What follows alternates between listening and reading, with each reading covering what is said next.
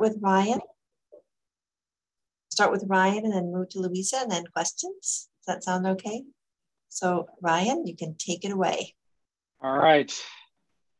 Hopefully everyone can see my screen. Um, so I'm gonna try to talk a little bit about uh, pediatric heart failure. Obviously, uh, trying to get through in uh, 15 minutes. It's a topic that you could either spend could spend days on, but um, I'll kind of give a little bit of an overview of how we uh, think about it here in Dallas, and kind of uh, rather than focus on um, sort of in specific devices or specific things, kind of a little bit more of just the the gestalt kind of of, of, the approach that we take. Um, so a little bit of background um, is always good. Um, heart failure is a common problem in adults. In the US, for example, there are about 6 million people with uh, heart failure and somewhere around 300,000 deaths. And it's pretty common in adults, but much less common in children. So um, in children, there's a little bit less uh, information, different causes and mechanisms than in adults, um, but probably on the order of 12,000 to 35,000 children in the US each year.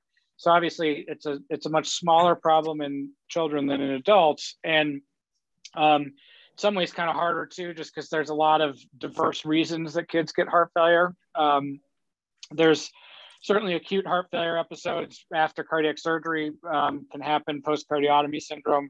Um, and then myocarditis, which obviously many po- folks have gotten much more familiar with in the in the era of COVID, um, coronary ischemia, pulmonary hypertension, and then um, chronic heart failures like cardiomyopathies, and then many patients with congenital heart disease.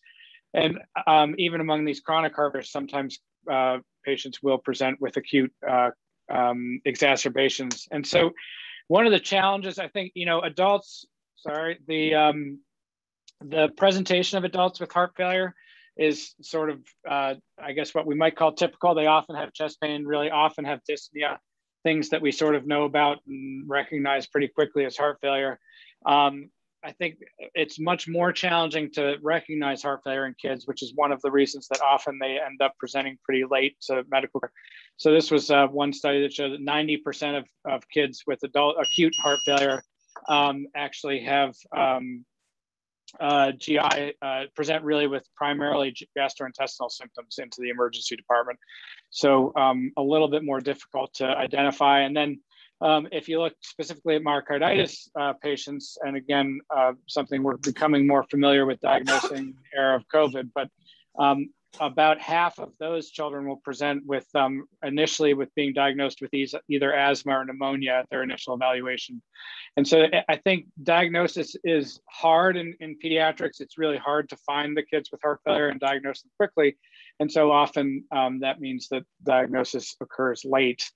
Um, and it's sort of like finding a needle in a haystack. And um, as a, the surgeon, I have the the uh, advantage of being the one who gets to take care of them after they've already been identified as the needle in the haystack. And it's more the emergency department and pediatricians who um, struggle with this picture of trying to find that one kid with heart failure in the midst of all the other kids who have GI symptoms and asthma and pneumonia. Um, and so it can be challenging to, to get to that to that one kid. But when they do come in and and we work them up, um, I think this is um, you know, as kids come in with acute uh, decompensated heart failure, um, what we've sort of worked on, um, and it's derived from a lot of other uh, other work too, is uh, coming up with a protocol for how to approach kids who come into our institution with acute decompensated heart failure. And this is our um, rapid action plan protocol. Um, and I'm going to highlight a couple things because I think it's sort of a, a an uh, not necessarily easy. Heart failure is never easy, but it's it simplifies the thought process around managing these kids and, and tries to think about how to take care of them in the most effective way possible. So the first uh, sort of pathway is you know someone comes in with to our emergency department or into the hospital with acute decompensated heart failure and the sort of first question that we ask is do they really have impending cardiac or respiratory failure? Um, apropos to the title of the talk about uh, team, you know, a team approach, I think the one of the critical parts is that the first thing in our um, in our sort of protocol of how to manage these patients is communication, and so making sure that all of the people who may be able to help uh, with such a patient are um, aware that the patient's there and can um, and can be available and can help with developing a plan that's going to be um, the most uh, the the best treatment for for this child. And so uh, for us, that involves you know notifying the cardiac surgeon, notifying our cardiac anesthesiologist, notifying the heart failure attending, and notifying the ECMO team, so that everyone's available and on board um, in someone who is acutely ill and may uh, have uh, have very rapid decompensation. And then you can see we sort of move towards um, interventions. You know, initially, obviously, we want to get labs and type and screen and and and prepare for ECMO if we need to. Um, initially, starting with um, epinephrine as the first uh, first choice in someone who we think is uh, potentially going to have uh, emergent cardiac or impending cardiac or respiratory failure, and then you know potentially adding milrinone if patients are normotensive and seem like they might be able to tolerate it. Um, certainly, uh, fluid management, um, respiratory management, um, intubation can often be a, a treatment for uh, for acute heart failure by unloading the left ventricle. Um, although uh, intubation itself certainly carries risks, and I think um, you know, as you can see at the bottom here, avoid sedation unless needed for procedures. Um, that's again where that communication part is important. So, you know, developing a plan with everyone involved, having the most expert person do each procedure to try to uh, help someone who's acutely ill. Um, so that's sort of the the really the really really sick patients who come in. The other side is our if if the answer to the no uh, to the impending cardiac or respiratory failure is no, um, we we kind of work through this um, initial classification, and, and, again, this isn't something we came up with. It's sort of a wider, uh, uh, more widely used throughout heart failure. But I always find it um, as a surgeon, I think simplifying things is always good. Um, we don't like to make things too complicated, and so um, I think this provides a really um, sort of uh, reproducible and straightforward way of classifying children who come in in heart failure. It's derived from adult data, but um, really it, it sort of just classifies people into these four boxes based on whether they're warm or cold and whether they're dry or wet. And, and I think it really helps with the subsequent management of patients. Um, uh, warm or cold tells you how they're how they're perfused. Do they have enough blood? Do they have enough blood traveling to their, um, you know, enough cardiac output that they're actually delivering blood, warm blood to their periphery and maintaining a, a warm temperature. And then wet versus dry tells you whether or not they're congested. It's, it's sort of a, a gross way of measuring whether they've got too much um, fluid on board or, or, or, um, or not enough or, or an adequate amount. And so when we um, move to these, you know, once you've identified which group they fall into, um, it really helps you with the subsequent management. Um, so patients who are cold and, and wet, and these are certainly um, concerning, you know, patients because they're cold, so they don't have great perfusion, um, and they're um, and they're very congested. Um, in these patients, you know, we want to try to get their perfusion a little bit better. So either milrinone or epinephrine is helpful, and then we certainly want to try to get them decongested if possible. Um, and, and this is one of the things I think that this uh, algorithm is helpful is thinking about holding chronic uh, medications or not holding them. So in patients who have poor perfusion, we generally want to hold their chronic heart medications until we sort of see how they're doing. Um, cold and dry, which is um, again poor perfusion, but not really very congested. Um, in these patients, really, the we want to work on um, improving their cardiac output. And then the group that's uh, warm and wet, they're congested, but they have good perfusion. These are ones where um, we, we generally want to continue their chronic heart failure medications. And again, we want to get them diuresed and, and start getting fluid off. And so I think um, obviously each patient's individual and all of this stuff um, becomes more specific when you have a patient in front of you. But um, I think that general um, classification into kind of four groups is very helpful. Um, moving a little bit, and again, I'm a surgeon, so I'm going to move on to surgical stuff uh, too. But um, you know, thinking about medical therapy, these are sort of all of the medical therapies um, that we use. Most of them are really based on expert consensus and extrapolation of adult data rather than large trials in children, which really goes back to that uh, first few slides, um, you know, showing that that the problem of heart failure is less common in children. Um, but um, extrapolating from those uh, from data in adults, um, you know, often we treat uh, we treat with similar medications, ACE inhibition, um, diuretics, uh, spironolactone, and beta blockade to try to improve um, cardiac remodeling and, um, and counteract the sort of negative feedback cycles that occur in the setting of heart failure.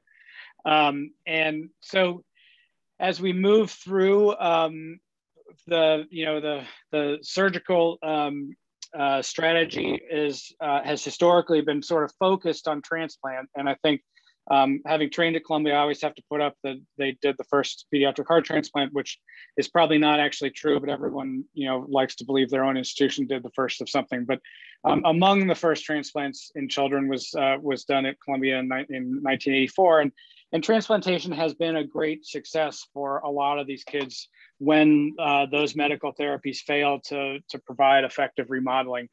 Um, uh, but uh, there are downsides to it. One is that the median survival, you know, um, this is a little bit older slide, is uh, between 15 and 20 years, I would say now, depending a little bit on age um, of the recipient.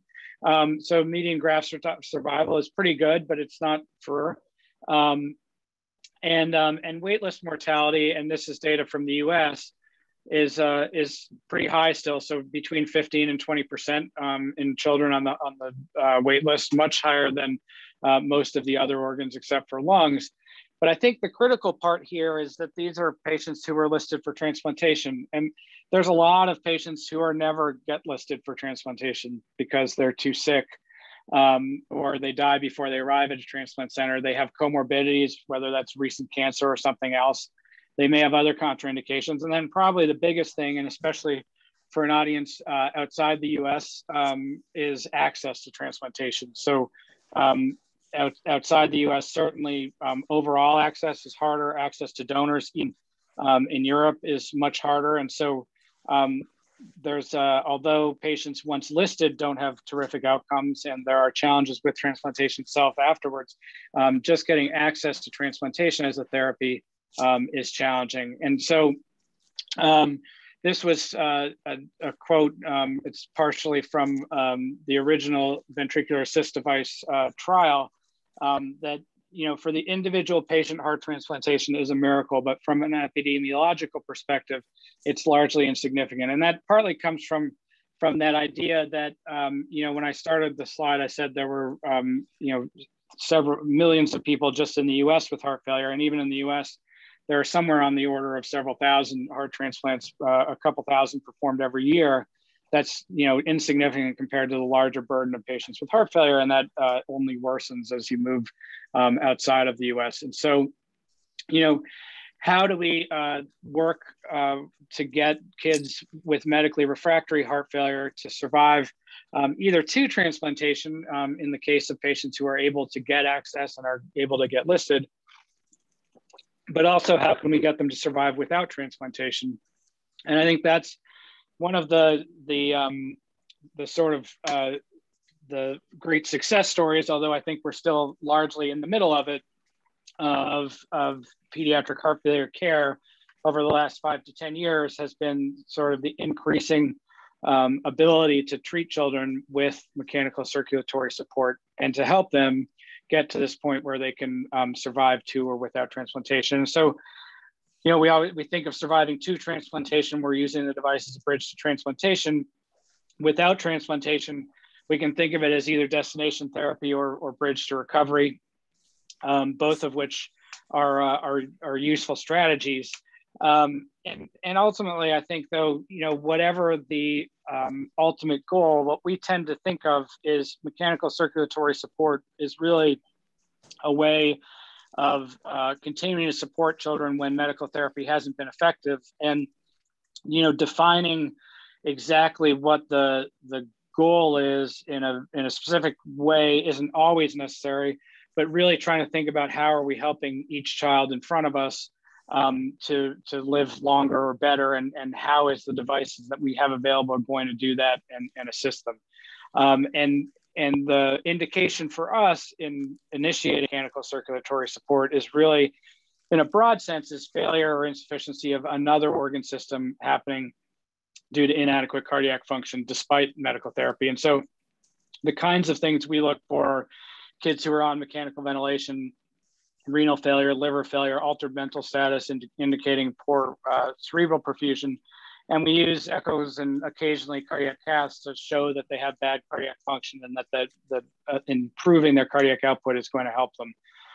Um, this is sort of a summary slide, and this is where, you know, it's uh, certainly in a 15 minute talk, I, I'm not going to be able to kind of go through every option that's available. And obviously those options vary based on center and the country you're in and, and where, you know, what you have at your disposal.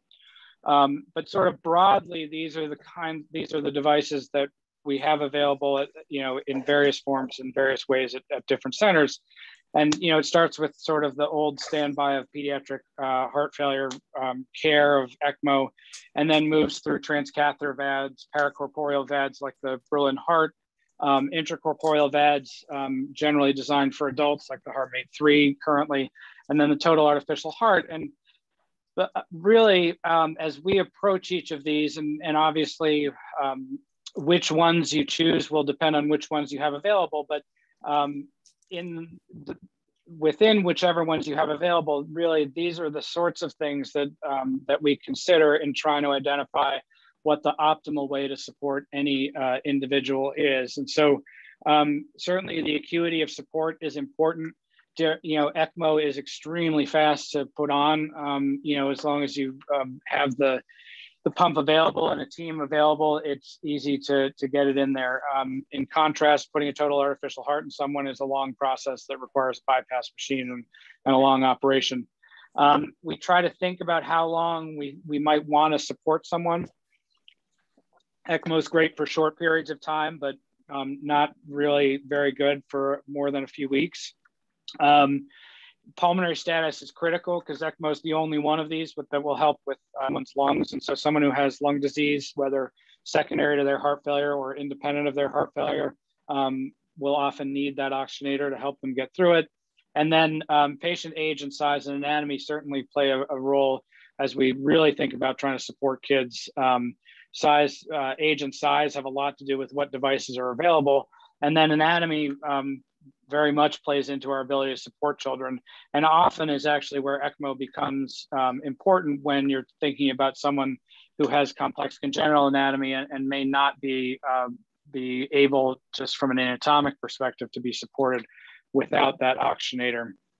Um, terms of sort of timelines for support, um, you know, ECMO again is is great for days um, and and maybe up to weeks, but it certainly falls off after that. Um, transcatheter VADs where they're available, like the Impella or um, or the Protek, um, are um, newer technology, but can be very useful for on a similar time scale. And then as we move to the paracorporeal and intracorporeal VADs, those are you know um, can support kids for months and, and even years. Um, as an example, we have a, a Glenn right now who's been um, in in the hospital, unfortunately, because she has a paracorporeal VAD that she can't go home with, but with a continuous flow paracorporeal VAD and has been um, on it for 500 and I think 50 days right now, and ambulates and um, other than being stuck in the hospital, um, does well. So these can support children for a very long time. Uh, certainly intracorporeal VADs uh, designed for adults are where the longest time support is. Um, in all these cases, like I mentioned, I think the whether you need an oxygenator or not is is sort of a, a, central determinant of whether we can use one of these other devices rather than using ECMO. Uh, but where you don't need an oxygenator, um, I think uh, avoiding it is critical. Um, because, oops, sorry, the uh, because the um, outcomes, and this is from the Berlin Heart Trial, um, and compared to a, a, group of children supported with uh, ECMO, uh, no one survived more than 21 days um, on ECMO to a heart transplant. And in contrast, the, the survival on the Berlin heart, while not perfect, was certainly much better than that. So, you know, if you need an oxygenator, then you need an oxygenator and ECMO is the right uh, therapy. But if you don't, it's much better to try to figure out uh, a methodology of support without it. And then um, after you move through that sort of decision point, really, you know, what size is the patient and what pumps will fit is a really big determinant of what uh, mechanical support we can offer. Um, in Dallas, we are um, uh, have the the luxury of having a lot of devices available, and this is uh, the range of devices we have, uh, including ECMO on the on the left, but um, Impella transcatheter VAD. Um, this is a continuous flow VAD that we use frequently. Um, we're in a trial of new pediatric continuous flow VAD, the Jarvik 2015. We do have the Berlin Heart available, and we have the HeartMate 3 um, in in adults. And you know, um, it's sort of easy. I think often um, uh, we do get spoiled by having all of these devices available, but I think as you, um, in each center, as you figure out what devices you have available, um, along with uh, your team, you can figure out what types of support you can offer. And often one of these devices, even though it may not be quite as good as a device specifically designed for a specific application, can be um, used in a wide range of support. Um, so as an example, this, the continuous flow CentraMag that we have can be used sort of for everything from ECMO through, like I said, someone who's been on in, on support for 500 days. So I think there are options, and um, and uh, especially trying to move away from ECMO and think about how to use the devices that we have um, in the optimal way uh, that we can is, is sort of the, the best uh, approach. Um, this is again kind of our experience with um, with all these devices over the last 10 years and and you can see again it's a huge number of devices that we've used over the last 10 years um, but i think the the sort of critical things are that we've gotten enough experience in each of these devices to use to use them effectively. And that's where I think um, at smaller centers or centers with less frequent presentation with kids in heart failure, really thinking about um, how to take uh, devices that you have um, and work them into sort of a wider range, but get very familiar with them is critical. Um, it's part of the reason that we've uh, really focused on in our children in, in using continuous flow devices like the CentraMag and PediMag um, rather than the Berlin as commonly. And that's partly because it allows us to use continuous flow support across the entire spectrum of ages and size. And um, in doing that, we really have the same physiology, and, and that includes ECMO, which is a continuous flow device with an oxygenator, all the way through the HeartMate 3, which is a continuous device you can go home on. The physiology ends up being the same. And so trying to um, plan how to uh, how to approach device selection and device um, uh, use to make it sort of as simple as possible, um, but allow you to support the widest range of patients as possible. And um, ultimately, the goal is really to have uh, try to be flexible in the way that we support kids and to try to um, look at each child and figure out um, what the right um, type of support is to, to minimize the complications maximize their likelihood of recovery and ideally recovery, but also, you know, whether um, maximize their likelihood of getting to a transplant if that's an option and in the long run, really improve their survival. And the way we think about all these things, whether it's transplant or devices or medical therapy is as a spectrum of options um, that we can offer rather than um, someone comes in heart failure and we're trying to get them to a transplant um, I think the goal is to really think about for every child, uh, the goal is to help them live longer and live better. And within the armamentarium of what we have, whether that's medical therapies, uh, chronic heart failure medications, whether it's devices um, or transplant, um, being able to um, figure out for each child what the best way to help them live um, a long and better life as much as possible is is our goal. Um, and so hopefully I've stayed close to 15 minutes to, to give Luisa time for her portion. Um, but uh, in conclusion, heart failure is uh, definitely challenging to recognize in children. Um, management of acute decompensation, really, I think it's critical to involve the whole team early. We all have different areas of expertise. We have different specialties. Um, and really bringing that all to bear to, uh, on one child who's acutely ill, I think is the way to get them to have the best outcome. Um, there's a lot of devices available. The optimal device depends on a lot of factors, um, you know, patient factors like size, the duration of support, need for an oxygenator, but also on the devices that any particular center has available. Um, a, a, device may be perfect, but if you don't have it on your shelf, it's not the right one. So I think trying to figure out um, what uh, each center can offer and how to use those offerings in the best way possible is important. Um, early evaluation and implant is often the key to survival, to doing well with VADS, waiting for people to get too sick um, before initiating support is, uh, is not often good. Overall, um, you know, survival with VADS has been improving steadily in pediatrics as centers have become more experienced and, and also as centers have become better at sharing their knowledge, um, both uh, virtually and in person, um, to really improve everyone's outcomes. And those outcomes are definitely better, um, better than on ECMO.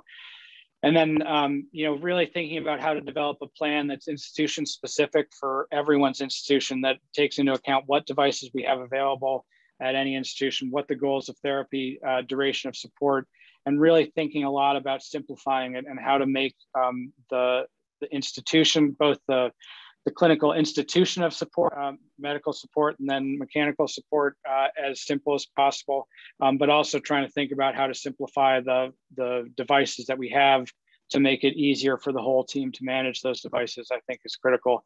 And in the end, you know, this again is really the way we approach heart failure, which is you know, with what we have available, how can we best provide this child with a longer and better life? And, and for some kids, um, that may be a, a durable ventricular assist device that they can go home with.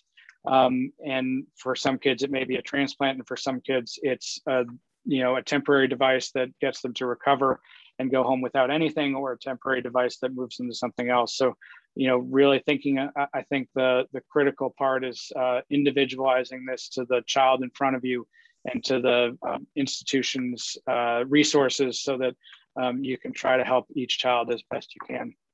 So that was that was a very quick uh, overview of, of heart failure, and hopefully, um, I'm also obviously happy to answer questions after Lisa talks, but um, hopefully that was helpful. Thanks, Ryan. That was great. sharing. That was perfect, and um, I encourage people if you have questions, put them in the chat. Like I'm putting my questions in the chat, just so I can remember we can review them when um, we come to the question and answer portion of the presentation, but I'd like to go on to Luisa and to see her take on the management of heart failure and team approach. Can you guys hear me? Hello? Hi, yes, we can hear Hi, you. how are you? Hi. All right, let me share my screen. Great, thank you.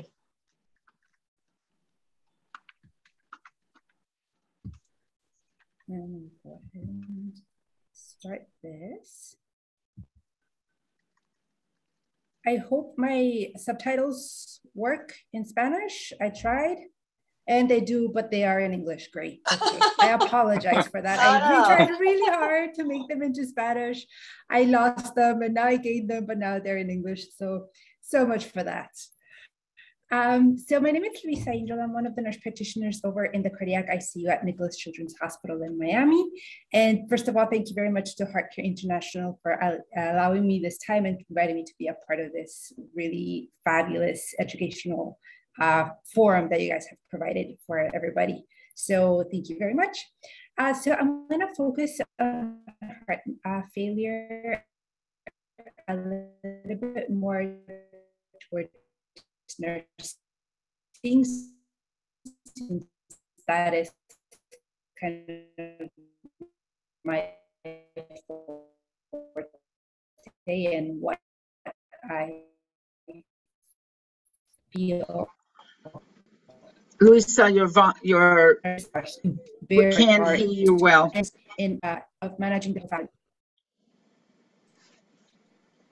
Oh. Luisa? I think we just lost her. Right. Um, Let me text her. could you text her? And maybe we can do some questions with Ryan. Hi, can you? Yeah, why don't we do some questions with Ryan, Betsy, and you text Luisa? How's that? Okay, okay.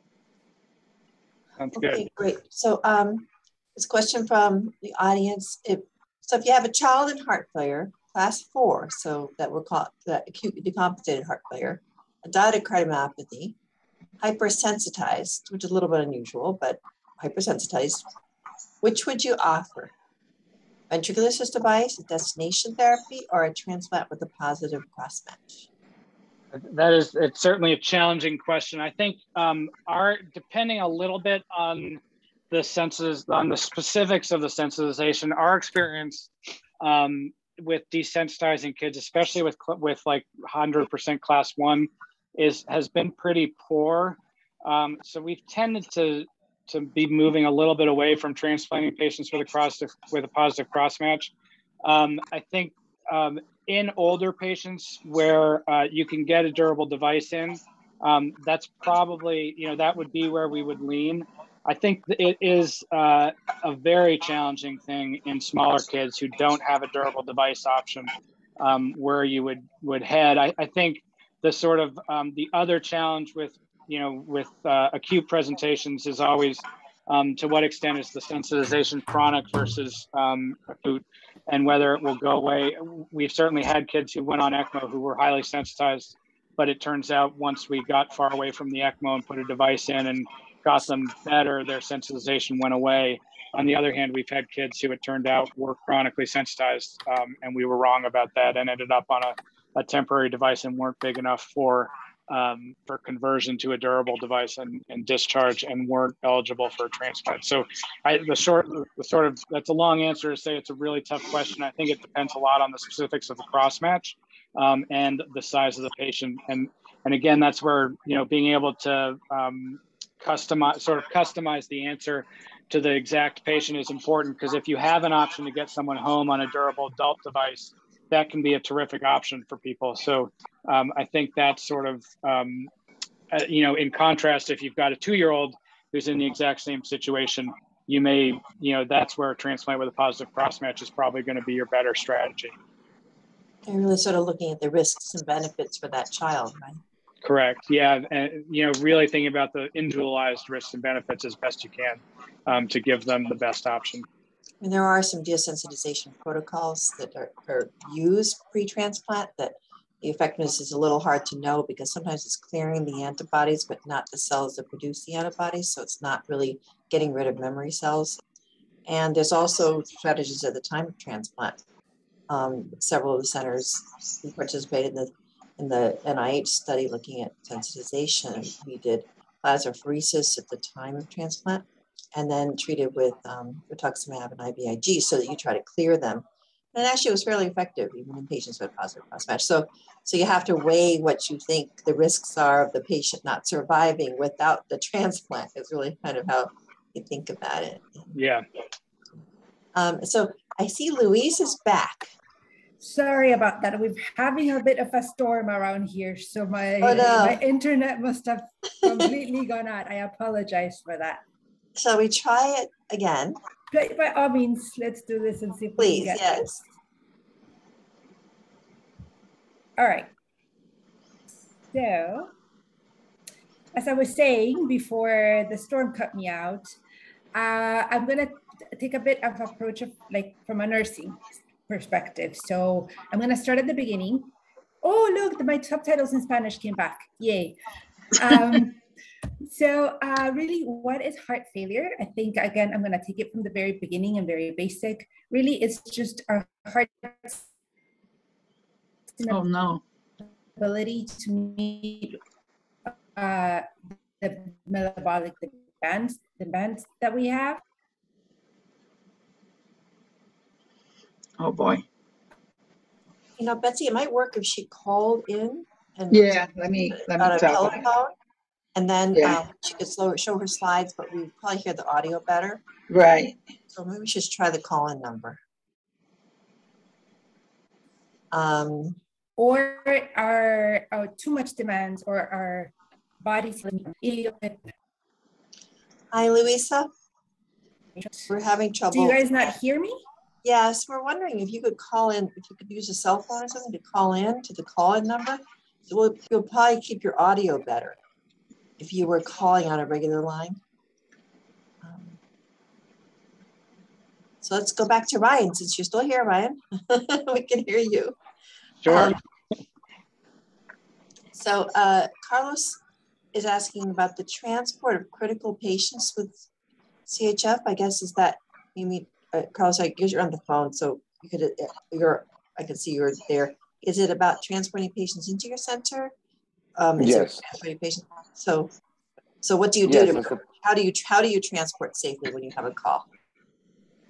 Um, that uh, I think that does depend a lot on what resources you have available. We do have um, the ability to transport on ECMO, which um, not every center does, but um, being in Texas, where uh, there are long distances between um, between locations, um, we are able to transport um, both by helicopter and fixed wing if we need to, um, but certainly by land um, on ECMO. Um, we can also transport patients on VADs. That depends a lot on the type of VAD they're on. Um, the the Berlin Heart, for example, the, the driver weighs about 350 pounds. So that is not straightforward to transport anywhere.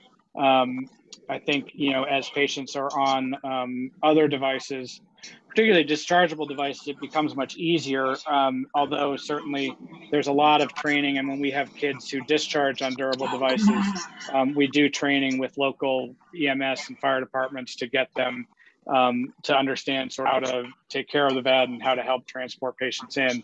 Um, the other side, um, you know, in patients who aren't on support yet but, but are in acute heart failure, um, a lot of that is just us trying to get them to your center as quickly as possible, and whatever way that you can get them as quickly as possible, um, I think is often the best way. Um, we, you know, we usually have critical care transport teams that are medical supervised, but nursing nurses on the actual transport team, and I think that works very well um, but certainly trying to get uh, children to a place where they have all the options uh, as soon as possible is probably the best thing. And Ryan, I think your point about how to uh, manage sedation and intubation with these patients is an important one. They are very, very unstable.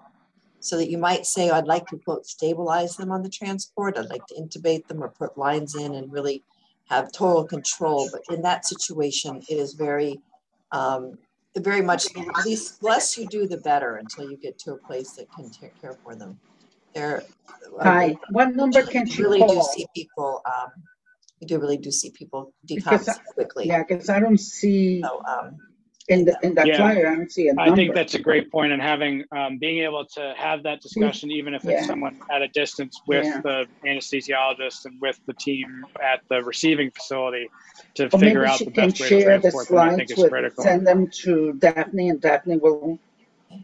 Hey Betsy, can you mute yourself? Sorry.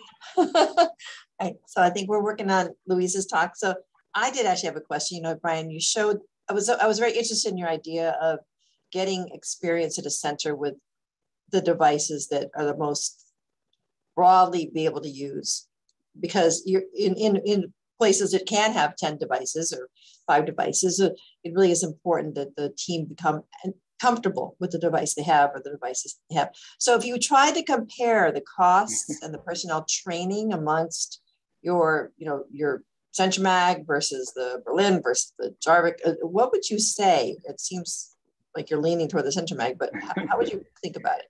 Uh, yeah, I mean, I do tend to lean towards the CentriMag in terms for for a few reasons. One is that um, training; it's a pretty easy device to work with. Um, it's certainly easier. I think the Berlin takes um, there's a lot of tweaking, sort of. It, it, takes a lot of experience to understand how to manage a Berlin safely. Um, I think uh, the CentriMag also does have, and, and I'm using CentriMag because that's what we have, but other continuous flow pumps are probably not all that different. Um, Rotaflows and, and other similar pumps. Um, they have the ability to also be used for ECMO, so they can be easily moved back and forth. We just had a kid who was on a PediMag, a, a neonate, um, who we added an oxygenator to for five days and then took it out again.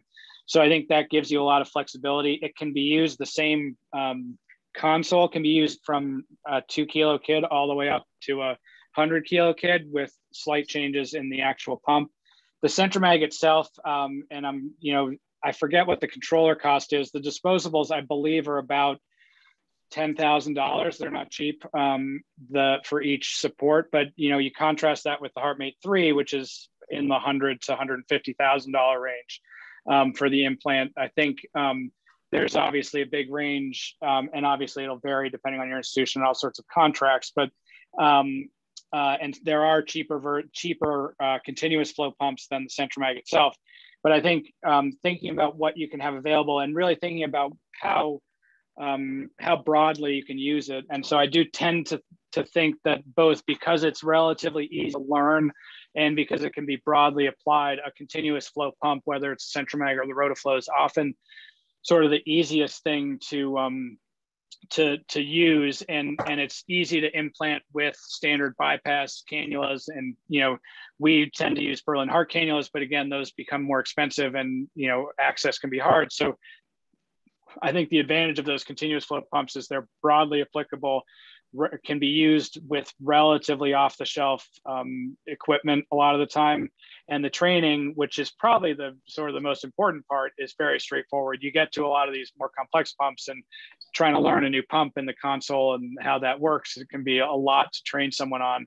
Um, whereas becoming very familiar with one pump that can be used for everything from ECMO to supporting a, a 100 kilo, you know, adolescent, I think is valuable.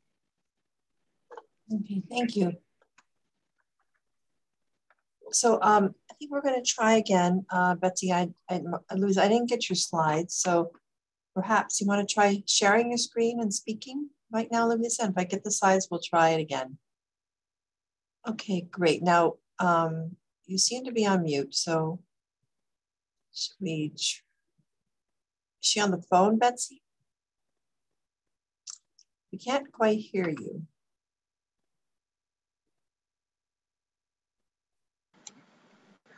We can't hear you. How about if I put it on my, oh, here we go. Okay.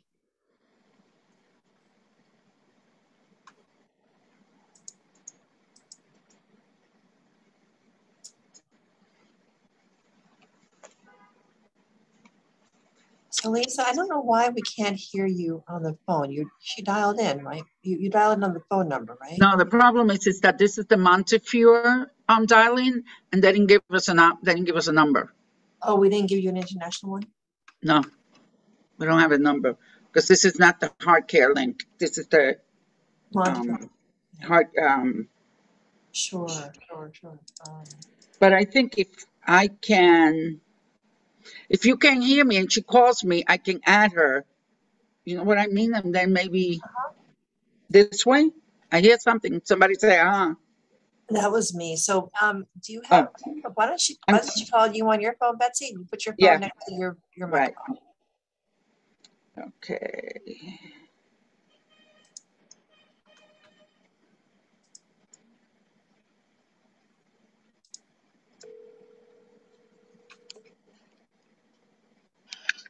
Hello?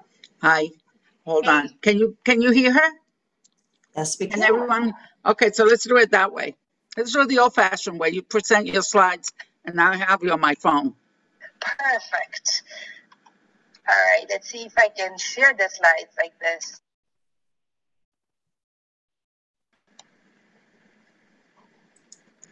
Yes? Yes, that's great. Let's try this, Luisa. Fantastic. Okay.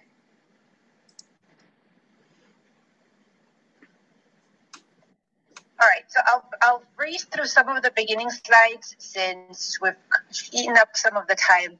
Uh, but really, uh, heart failure can be, out of this one, I would like to just mainly say heart failure can be acute, chronic, or acute on chronic. And really, the management of either one is very different, as Dr. Davies was mentioning before, because you can present a kid that has already a long-standing history of heart failure, but it's no longer compensating. So when that moment arises, then you have to go into rescue mode as opposed to maintenance mode. So it's just something to keep in mind from a nursing standpoint when you're getting a patient in the hospital, what kind of heart failure that patient is in, or because that will determine your actions and your preventive um, measures that you're going to take. Causes of heart failure, remember we can have a structurally normal heart. Uh, prenatally, it can be anything like a, anemias, arrhythmias. Neonates and infants, more uh, again, anemias, but it can also be from hypoxic ischemic injuries, infections, sepsis, dilated cardiomyopathies. So it's, we tend to think of heart failure as mostly a congenital heart disease induced problem, but there are other, many other disease processes that can lead to heart failure.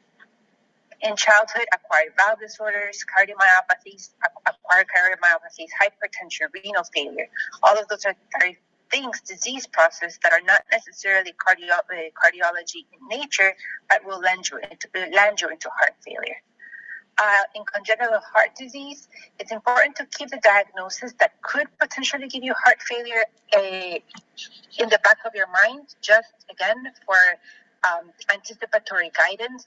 Prenatally, a lot of times with AV valve regurgitation, mitral stenosis, a patient that may be in heart block, um, although that's not necessarily congenital heart, but yeah, yeah, a patient that's in heart block. Um, that could even have developed a, a, certain degree of hydrops in utero, and then it's a patient that's going to be born very, very sick. In neonates and infants, when you have a systemic outflow obstruction, you're going to have something like coarctation or aortic valve stenosis. When you have a systemic inflow obstruction, uh, you can have mitral stenosis or pulmonary valve stenosis, and then a systemic ventricular volume overload. Uh, things like uh, VSDs, PDAs, and single ventricles, especially in the interstage uh, area between a Norwood and a Glenn, when you have a patient that has too big of a shunt and maybe overcirculated. Uh, so you're normally thinking that this patient may have uh, cyanosis issues or um, shunt issues, but heart failure is also a common problem with these patients. And then in childhood, aortic regurgitation, mitral regurgitation, mitral stenosis, and pulmonary valve stenosis. Now, as to the clinical presentation in infancy, these are babies that are going to have feeding difficulties, that are going to be tachypneic, that this is the baby that the parent is going to tell you he breathes a mile a minute, and every I'm having to change his clothes on a regular basis because he's always wet. It's a baby that's not going to gain weight because again it has very high metabolic demands and it's probably not eating enough to meet those metabolic demands. May have poor peripheral perfusion, cardiomegaly, and pulmonary vascular venous congestion and X-ray like the one you see right there. So those are all things that may start you thinking about heart failure but may not. But those are all things that we need to think about when we start getting that history from the parent. In terms of childhood, the presentation might be a little bit different because this may be a child that has developed slowly heart failure symptoms over time, and now it may just be getting to that point where they can no longer compensate. You may have a child that presents with shortness of breath, inability to um, keep up with his peers, inability to play along with his peers, a chronic hacking cough, orthopnea, exercise intolerance. This is a baby or a child that might be eating okay, but still look cachectic, still look wasted, still look undernourished, even though the parents may be telling you, well, he's a picky eater, but he eats enough, but is he really eating enough? On exam, you'll find some hepatomegaly, edema if the if the heart failure has progressed enough, and this may be an edema that the parents may not notice right away because it has developed very slowly. So they may just seem a little bit plump and but somebody that hasn't seen the child um, for a while might notice more evidently. And then again, on X-ray, you might find cardiomegaly. Now, what are some of the interventions that are very important from a nursing standpoint to take uh, to take into consideration, or to pay close attention when you're taking care of a patient in heart failure? First of all, I think everybody will agree, close monitoring of fluid balance. And I cannot stress this enough. This is a baby or a patient that we're going to want to have very, very tight controls of I's and O's. Um, blood pressure monitoring is both arterial and venous. If you have any sort of central line catheters, obviously keep track of what those blood pressures are. You may have elevated central venous pressures if the, if the patient is developing heart failure symptoms. Um, if you're having IV or enteral fluids, there may be a difference of how tolerant you are or uh, to being positive in your I's and O's balance. And also you may have a, maybe a little bit more liberal in how much fluid you give this patient or less aggressive with your diuretic therapy. Enteral fluids are just digested differently than IV fluids, so we tend to have a much tighter control of IV fluids. Then you have fluid restrictions. Um, you have feeding protocols um, in terms of limiting the feeding time, alternating the feeding routes, and optimizing caloric intake in order to be able to track your weight appropriately.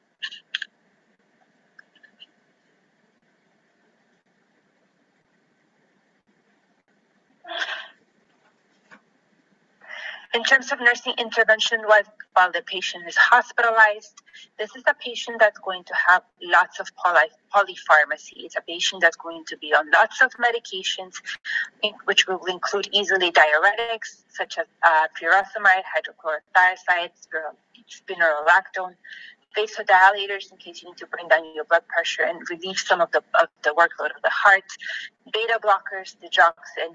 All of those are uh, can usually done enterally, and so we need to train the parents on how to do this when they go home. And then if the patient is just sick enough, obviously we're going to go into IV medications such as Novrenol, epinephrine, uh, and dopamine. This is obviously I did not even include uh, all the care that goes into once the patient is on any sort of advanced life support, uh, such as ECMO or such as um, you know an artificial VAD. That in which case then we're talking about a whole different uh, skill set and a whole different um, care of that patient, which I just didn't feel like we had enough time to go into in, in depth in this com- in this talk due to the time restraints. Now, when we're talking about sending this patient home, it's very important as, as a nurse to involve as many multidisciplinary uh, elements because this is a patient that's going to need very, very chronic care through the lifespan. It should be multidisciplinary. It should involve physical and occupational therapy if at all possible. And if those services are not available in the community or not available to the patient, then we definitely need to teach the parents how to promote mobility, how to promote the patient being independent, how to promote normalcy. Sometimes these, these babies are admitted for a long time in the hospitals. Like Dr. Uh, Davies was mentioning, if it's a patient that's on an artificial heart or any sort of artificial uh, assist device that cannot go home, how can we bring the school to the hospital? keep their mobility as much as possible within the, the restrictions of activity of the patient. Dietary restrictions is are we going to have to restrict a child from eating pizza and burgers and french fries? Well, most likely we are because those are high sodium and we may not need a patient with high sodium diet intake.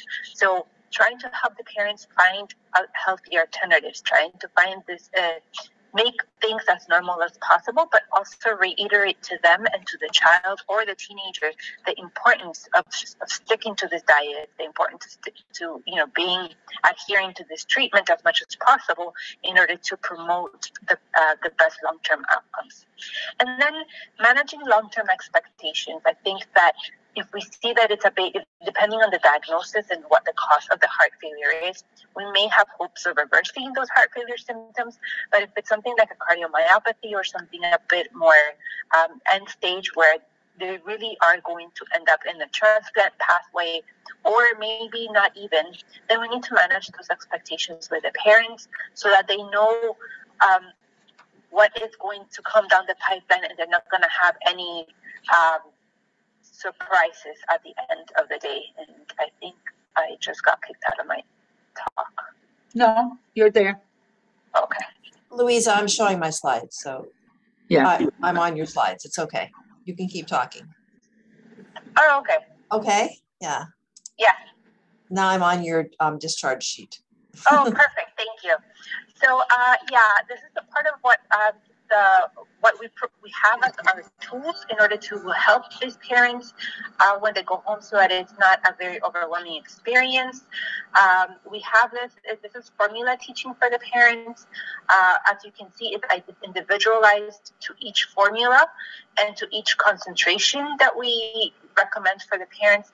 This is these are patients that often need higher caloric intake than most of than most of the other uh, babies that are so then the cans of formula don't come with those instructions so it's something that we take for granted of okay well feed the baby as much as you can well we've had plenty of instances when we've sent kids home with okay um, mixing instructions that are different from the ones that are in the can, and they don't understand how they are. So they come in with dehydration or in kidney failure because uh, they were giving too much. So this has been very useful for us in terms of very specific and very uh, step-by-step instructions for the babies, especially to go home with when they need higher um, caloric intake. I, did not include in the conversation in, in the presentation, but we also have all kinds of uh, nutritional recommendations that we give older kids, both like childhood age and teenagers. Um, and that's why it's important to include maybe a nutritionist in your multidisciplinary team. It's important to hook up these patients when they go out to the community with good follow up in terms of weight gain, regular weights, uh, support of, of, with people that are in this multidisciplinary team that can help them um, manage those expectations better and manage what they're going to feed their child a little bit better. And if you can go to the next one. And then because of the polypharmacy aspect that we had. I've included here a calendar that we, that, that we tend to use for our patients. It's in Spanish since we in Miami have quite a large uh, Spanish speaking population. Then we have them both, we create them both in English and Spanish. But really, it's to simplify the life of the parents and to make sure that they keep track of all these medications that they give, need to give their child. We include both the milligrams of what how much they need to give and if you see where it says doses in the third column, the actual cc's of that correspond to that dosage in milligrams. I don't know how many of you have gotten uh, histories from the parents and they don't know how many milligrams they have. They just say, oh, well, I give 0.2 cc's. And so, well, what is 0.2 cc's, especially if a medication has different concentrations? So this is a very useful tool that we have for our parents when they're ready, getting ready to go home. In addition to that, we include what does each medication do and what is it for. So as you can see in the first line, we have aspirin, and then it's for anticoagulation. And if it's a baby, in case this was the, the calendar of a baby, well, you're going to need just a quarter of a tablet and you're going to mash it and mix it with some water and then at what time of the day they are supposed to give it so it helps to keep the family on track and this helps to organize their life because once you start adding three, four, five, six medications, it can be quite overwhelming, especially with a newborn baby or or a child or a new diagnosis. And these are the parents that are needing to absorb a lot of information, and their life really has just been changed quite dramatically.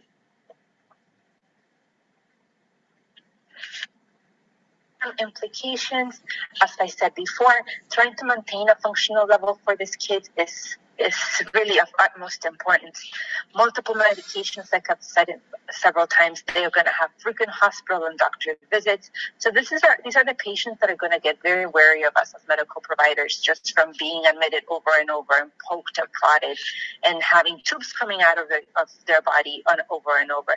So maintaining the normalcy of this child, I think, is very important. Um, helping them cope including maybe psychologists, um, trying to make life as normal as possible for them. If there's any arrhythmias that are underlying, the, the quicker we can control them, the better, because they will worsen the situation of the of the, or the heart failure symptoms. So we definitely want to make sure that at any sign of arrhythmias, we take close we pay close attention to that, and we address it as soon as possible. If they have they're in any advanced cardiac therapies, Dr. Davies went through it at length, so I'm not going to spend too much time on that. But these are all very overwhelming or can be very overwhelming for the family, especially if there's really not if they're not really used as a bridge to any other therapy. So manage the expectations. How long are they going to be on that? Is this a some, a bridge to a heart?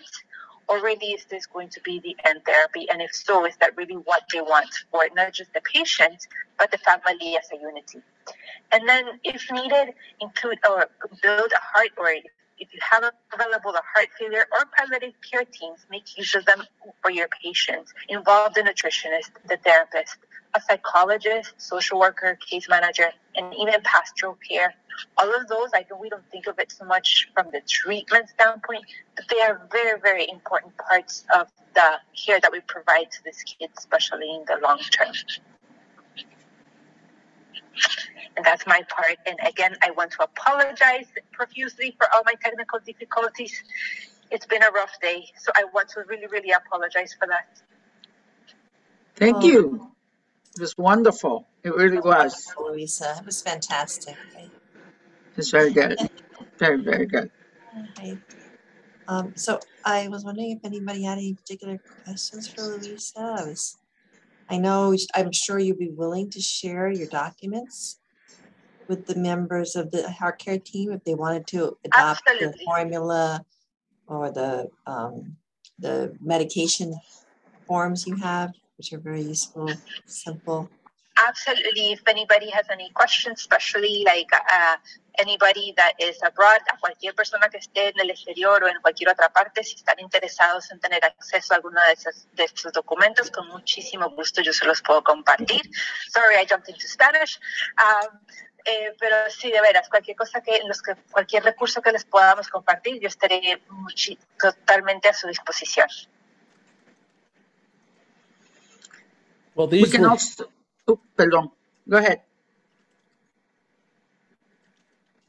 Who was it? Wait. So anyway, we will be posting this, um, The- s- this this whole, um, seminar on our website. And you can always reach out to me or to, um, Margaret and of course Luisa, and we will get you anything that you need. I just wanted to say, Betsy, if I could inter- interrupt and interject for just a moment. The, these were really two absolutely first-rate lectures, Luisa and Ryan. Thank you so very much. I learned a tremendous amount from both of you. And I, um, I think that it was a really nice juxtaposition of talks that Daphne put together because the overwhelming majority of heart failure is managed medically. And we have to, all of us have to just get so much better at managing these patients medically and trying to avoid uh, what Ryan and I have the distinct pleasure of doing, me and adults and he and kids, is, is managing these situations at the end stages. And Ryan does an extraordinarily good job at doing that. But the medical management of these patients is changing, it's evolving, and it's getting so much better. So I just wanted to interject and say how um, how pleased I am to hear both of you speak and how much I learned from both of you. Thank you very much. And thank everyone for joining. It was a great evening. We're a little past our time. I know everybody has things to do. And have a hope everybody has a wonderful evening. We are planning another one of these sessions. Is it in November or December because of the holiday? Our next one is November 18th, and we will present a Truncus case from our Chiapas September 2019 trip. The two surgeons and nurse practitioner who were on the case will do that. Perfect. All right. Thank you so much. Luisa, it was wonderful. Thank you. Dr. Davies, it was great. Thank you so much. Thanks for Thank having me. much. Thanks. you. Thank you for having us. Bye. Bye, everybody. Bye. Bye. Gracias, gracias a todos. Gracias a ustedes. Adiós. All right. Yes.